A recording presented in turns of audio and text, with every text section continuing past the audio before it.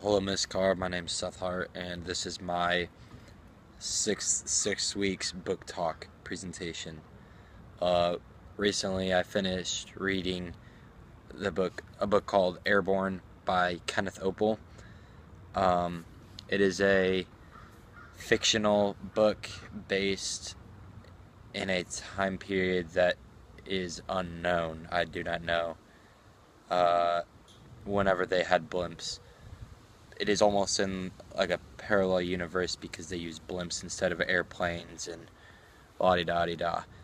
Um, it's about a boy named uh, Matt Cruse who is a cabin boy on a mighty ship called um, the Aurora, and he is a very honorable cabin boy. His father knew the captain very well, and so the captain uh, is treats him with the utmost respect.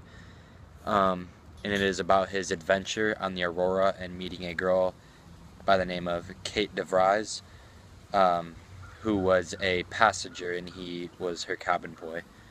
Uh, starts off, he is up on the crow's nest and he spots a hot air balloon. And later on, actually, I won't give away the big reveal at the end but uh, they figured out and there's this journal and it's talking about this species that's unknown to them. It's never been seen before except by the guy who was in a hot air balloon who uh, was trying to go all the way around the world and explore he was an explorer. And they read through the journal and uh, later on they're just cruising down across the pacific and there is a pirate ship, pirate blimp, that uh, hijacks them and ends up killing one of the first mates or something. And then that's not very that's not a super important detail, but uh, they get away with everything. They steal all of the uh, luxury goods on the blimp, and um, and then they because they were chasing them down, one of the uh, propellers cut open the top of the Aurora, and the Aurora was forced to do a landing. And they landed on a remote island on the beach. Everybody ended up being okay, except the first mate who was shot. And uh, Kate DeVries and Matt, on his off time, when he's not uh, on his shift, he they go out and they explore the island. Well, while they're out in the woods, Kate tells Matt that the explorer that was in the blimp or in the hot air balloon that they found, who later died in the hospital of the Aurora, he was Kate DeVries' grandfather, and they were very similar. And he always told her stories, and he and she knew that the unknown species that everyone thought was crazy was actually real. Uh, and they're out in the island, and the they find a bone, and this bone, the creature that uh, Kate's grandfather described, was like a panther face, but it flew, but it never landed. Even they would go up uh, like 20,000 feet and give birth, and the babies would start flying before they hit the water. And so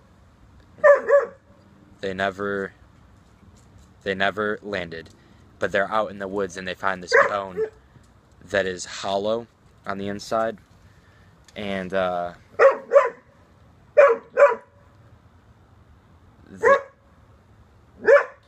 hey, Oliver, no.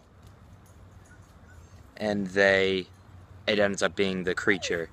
And so it's, and then later on in the island, they discover deeply and they follow this creature and uh, they end up coming across the pirates, which again isn't very important. The important part is that they found the creature. Um, this book has multiple themes. Um, to me, it really, it almost taught me to respect authorities, just because so in so many uh, in so many different ways, Matt earned more respect by others by respecting his, the authorities, including the captain.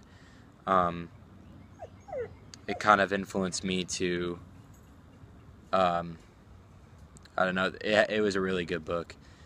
Uh, the climax is when they find the creature and Kate's just overwhelmed with all these emotions because she finally figures out that the, her grandfather was not crazy. Um, the book ends with uh, Matt ends up getting he he ends up getting a position at the Air Academy, which is a very prestigious academy that you have to go to in order to become a first officer officer or higher. And uh, Kate is writing all these books about the creature, and she's going around the world and teaching everyone about this new species. Um, had a very positive ending, and it uh, was a very good book. The next book I'm going to read is the sequel called Skyfall, and supposedly it's about finding treasure. Um, thanks for listening. Goodbye.